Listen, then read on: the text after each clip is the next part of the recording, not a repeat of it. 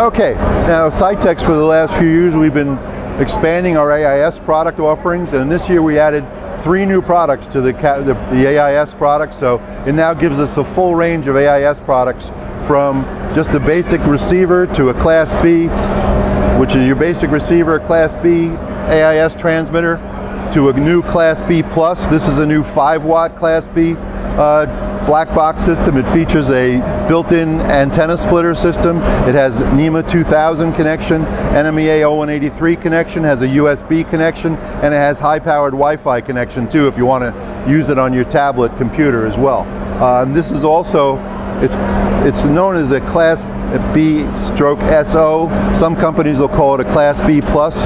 What that means is it's a 5 watt transmitter, so it's more powerful than your, your standard Class B, but it also has the same priority as a Class A AIS. So when you're in a crowded harbor with a lot of commercial vessels there with Class A's, the Class B SO or Class B plus unit will have priority so it's always transmitting, always showing up on the screen.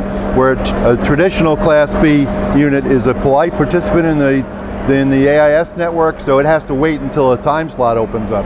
The Class B plus units do not have to do that. We also have a new Class B SO or Class B Plus with its own built-in display. That's the SAS 600. This has all the features of the MDA5, but it also has the Wi-Fi and C-MAP display on there as well, and uh, NMEA inputs and outputs that you want, Ethernet connection.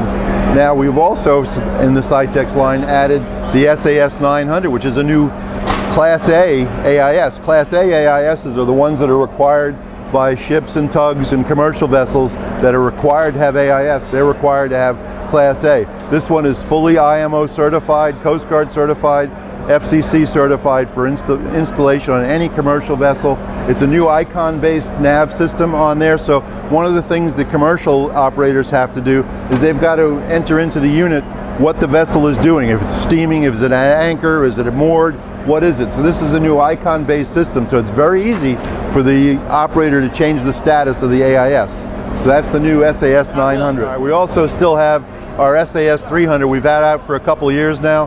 This has been an extremely popular unit. It's a 7-inch display, comes preloaded with a Navionics chart, and gives you just a great situational awareness display. A lot of operators, uh, when they put AIS on the boat, may not want to integrate it into their nav system, but they want a dedicated display where they can look at for AIS targets, and that's the SAS 300 does that job very nicely, and we continue with that as well.